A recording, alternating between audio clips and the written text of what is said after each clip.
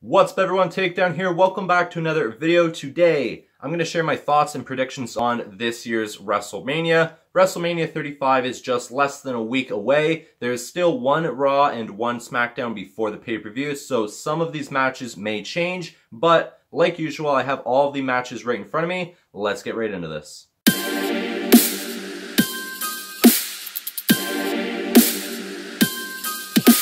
So I'm going to start off with the Women's Battle Royale match. So I'm basically just going to be picking two females that I think should win this match and that will push them in the future to bigger and better things, maybe championship matches and stuff like that. So the two that I've picked for this match are number one, Nikki Cross. I think since she is just coming up from NXT now, I like everything about her. I think she is amazing. So if she were to win this match, it wouldn't surprise me. And the other is Ruby Riott. Basically, I think that because all members of the Riott Squad are in this match. I think if they all band together and help Ruby win, I think that's something that we can see happen. And then Ruby would get another opportunity for the Raw Women's Championship in the future. So these are my predictions for the Women's Battle Royale. Next is the Andre the Giant Memorial Battle Royale. And I'm basically going to do the same thing, just pick two people that I think should win and that will push them in the future. So number one is Ali, and I think it's pretty amazing. It sucks that he was uh, injured right before Elimination Chamber because of the hype that he got to get into the Chamber match. I thought was amazing, and I thought he would definitely had a strong showing in that match. But because he is injured, uh, he was he had to uh, miss that match. So the fact that he's not injured anymore, I really hope that he's in this match, and I would really like to see him win. That'd be very awesome, not only for a cruiserweight to win this type of match, but just for him in general, because that will keep boosting his hype. A lot of people think that because after he got his shot for the World Championship, he then got injured, that he's not going to get one again. If he were to win this match, I could see that happening. The other one is Jinder Mahal. I know Jinder Mahal has been going downhill since going to Raw, but I think if he were to win this match, he might start going in the right direction and they might give him bigger pushes in the future. So these are my predictions for the uh, Battle Royales for WrestleMania. Next is the Intercontinental Championship match. We have Bobby Lashley versus Finn Balor. Bobby Lashley now is a two-time Intercontinental Champion. Finn Balor beat him and then ended up losing again. This match here, I'm just going to go with my gut on who I think is going to win, and that is going to be Bobby Lashley. I've always been a fan of Bobby Lashley, and I really like that he is the champion. I would have preferred him to face Brock Lesnar for the Universal Championship. I think that would have been a lot more special. Uh, but the fact that he's a, champion, the Intercontinental Champion, I like that too. I think Finn Balor might have a good show in this match, but I would like to see Bobby Lashley retain. That was my final prediction. Next is the Cruiserweight Championship match, Buddy, vers Buddy Murphy versus Tony Nese. This match here, I don't know a lot about Tony Nese, but I do like him. I, I think he is very strong, and I think if he were to win at WrestleMania, that would be a good showing. That would be him basically proving that he can do it. So my prediction for this match is going to be Tony Nese. That's my final prediction. Next is Kurt Angle versus Baron Corbin. This is Kurt Angle's farewell match. A lot of people hated when Baron Corbin was selected to face Kurt Angle. It is rumored that it is going to be John Cena and it will be shown before WrestleMania, but this is the match as of right now. So, in my opinion, Baron Corbin facing Kurt Angle, I think, is awesome, and I think that will push him in the future because since he went to Raw and he became general manager, he kind of went downhill and kind of got stale and stayed at one position. But by him having a match against Kurt Angle at WrestleMania, I think that will push him in the future. And I think that's why they decided to do that. Instead of having John Cena, somebody that's already proved himself in the WWE, having Baron Corbin try to prove himself once again would be awesome. But it's Kurt Angle. I think the final match, the final outcome of this match, my final prediction is going to be Kurt Angle because that makes the most sense. It would suck for Kurt Angle to lose to Baron Corbin at WrestleMania, so my final prediction is Kurt Angle is going to win. Next is the United States Championship match, Samoa Joe versus Rey Mysterio. This is going to be a exciting match. Uh, on one hand, we have Samoa Joe, the submission machine. I think he's going to dominate this match, but it's against Rey Mysterio, which is a cruiserweight, somebody that is smaller than him. So I think if Samoa Joe were to catch Rey Mysterio, I think it might be over really quick. I think Samoa Joe might just make Rey Mysterio tap out instantly. But given Rey Mysterio's speed, I think that Rey Mysterio possibly could win this match.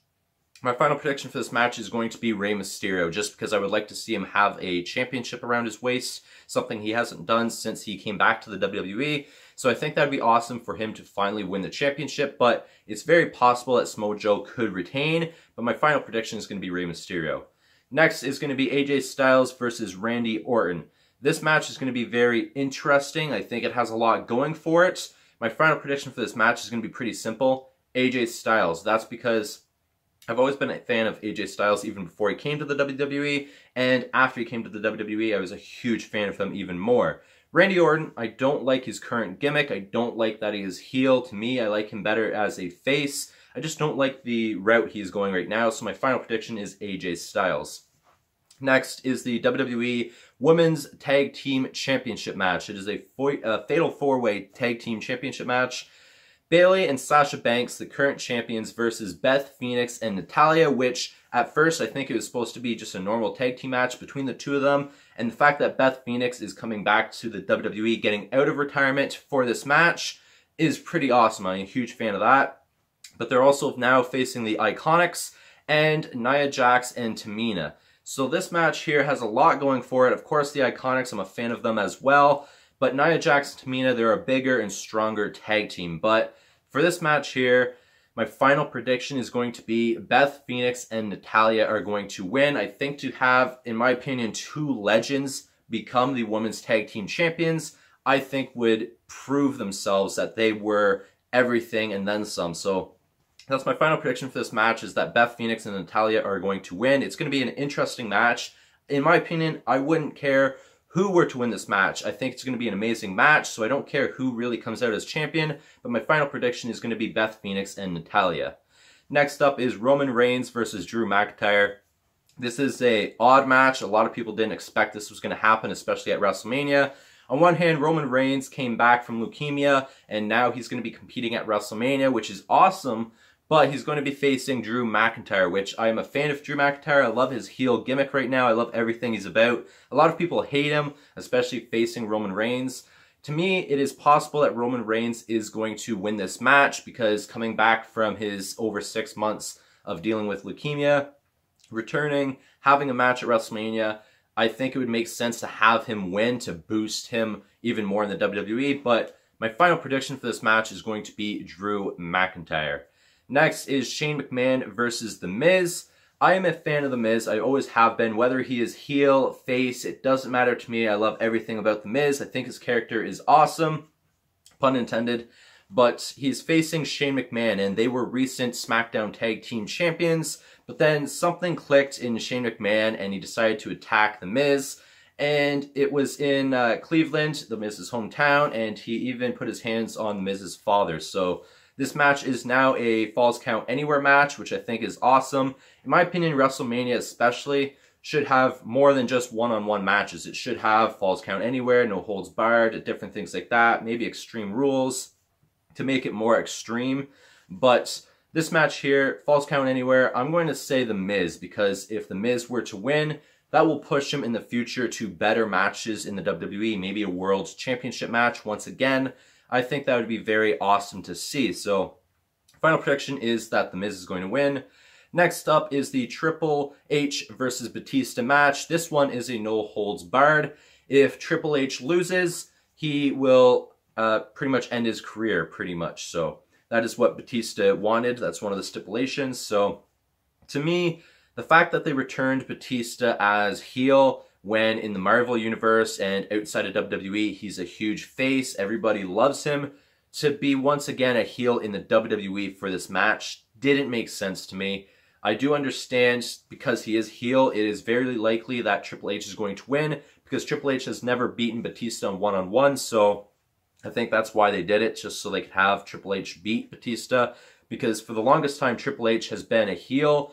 A lot of people in the WWE universe hated him, but to do it like this and have Batista the bigger heel now, I think that's why they decided to do it. But nonetheless, my final prediction for this match is Batista. I'm a huge fan of Batista. I think that he deserves a win at WrestleMania. He wanted to come back for a match. So this match would be awesome for him to win. I'm a huge fan of him. And that's my final prediction for this match. Next is the Universal Championship match. Brock Lesnar versus Seth Rollins. This match here is going to be very intense, I have a feeling. On one hand, Brock Lesnar could go Suplex City on Seth Rollins. On the other hand, I think the Kingslayer might do a lot more than we would uh, expect him to do. I think he has some tricks up his sleeve. I think he has plans for this match. And my final prediction is Seth Rollins. Mainly because I feel that the Universal Championship should be defended or at least shown every week on Raw they should be the champion should be appearing every week on Raw, not just hyping up a match at WrestleMania. So the fact that Brock Lesnar is barely ever there, barely ever defends, it's only once every couple pay-per-views that he defends it. It should be defended every pay-per-view in my opinion, especially since it is a major title. So this match here, I really hope Seth Rollins were to win because Seth Rollins would actually be able to represent Raw better than Brock Lesnar is. So that is why I'm choosing Seth Rollins for this match. Next is the match that a lot of people didn't expect was going to happen, and that is the WWE Champion Daniel Bryan versus Kofi Kingston. Kofi Kingston's been in the WWE for 11 years, never really had opportunities for the WWE Championship until late. It would be very interesting to see him win the WWE Championship. I am not a fan of Daniel Bryan, especially Daniel Bryan's new gimmick right now where he's a complete ass, he's a heel. I don't like that. I didn't like that he was returning from retirement.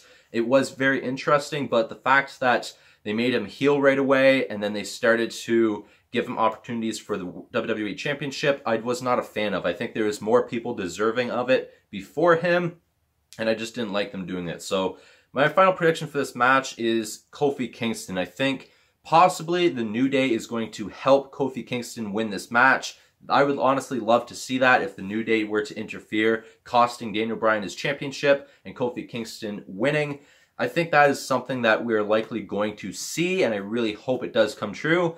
On the other hand, some people are thinking that in this match, the New Day, uh, Xavier Woods, and Big E are going to cost Kofi Kingston the match. So it's going to be interesting to see what actually happens, but my final prediction is still going to be Kofi Kingston. And the final match here is the Raw Women's Championship match. It is the main event, which is awesome that a women's match is the main event, especially at WrestleMania. And it is the champion Ronda Rousey versus the Royal Rumble winner Becky Lynch versus Charlotte Flair, who has recently won the SmackDown Championship. So this match here, triple threat match, as right now, it's only for the Raw Women's Championship, but the rumor is it's going to be for both Raw and SmackDown Women's Championship. We shall see. But I'm just going to go off of it just being the Raw Women's Championship. So this match here, my prediction is going to be Becky Lynch. Honestly, this match I would have preferred one-on-one -on -one Becky Lynch versus Ronda Rousey because we did not get to see that at Survivor Series. But it does make sense because Ronda Rousey I don't think has defended the championship in a triple threat match yet. So I think that's why they did it. But to just have Becky Lynch makes sense because she won the Royal Rumble, but to just throw Charlotte in from SmackDown into the Raw Women's Championship match didn't make sense to me. So this match here, Becky Lynch is my prediction. I could see Becky Lynch winning this match, and then I could also see Sasha Banks and Bayley retain the Women's Championship. Charlotte is the SmackDown Women's Champion. So if that were to all happen, everybody uh, that I just mentioned were to win the championships and hold the championships, I could see at the end of WrestleMania the four horsewomen come out and hold their championships high. I think that's something that would be interesting to see. But I did predict Beth Phoenix and Natalya were to win the uh, Women's Tag Team Championship, which is something I hope happens. But uh, also, I could see Charlotte winning this match, and then that's the rumor right now that Charlotte's going to win this match, and they're going to eventually unify the Raw Women's Championship and the SmackDown Women's Championship, which I really hope doesn't happen because the women's division, SmackDown has their own, Raw has their own. They are amazing right now, and I hope they keep them separate, but something tells me they're not going to. But my final prediction for this match is for Becky Lynch. I think she would prove a lot more if she were to win this match, so I hope it happens. So these are the predictions as of right now for the matches for WrestleMania 35. This is a longer video than I'm used to, but that is because this year's WrestleMania has a lot more matches than usual. This year's WrestleMania is rumored to be six to seven and a half hours. So that is a long event. That is a long time if you were to actually go to the event to be standing or sitting in your seats or just to be there in general. And I think nearing the end of the pay-per-view, you'd be pretty exhausted, especially regardless of if you went to the event or you're sitting at home watching the event. If I know me, if I'm going to watch the event, I'm not going to watch it all in one sitting. I'm just going to spread it out over a week or so just because that's a long time to just watch WWE in one sitting. So comment down below what you guys think of WrestleMania 35. Do you like that it is a long pay-per-view? Do you like a lot of the matches? Comment down below what your predictions are for all of the matches if you guys want to do so. I want to hear what you guys think anyways. But I'm going to leave this video here. I'm pretty excited for WrestleMania 35. A lot of the matches are awesome. I just feel like they have way too many matches for one event. So that's just me, but I'm going to leave this video here. Please take care. Peace.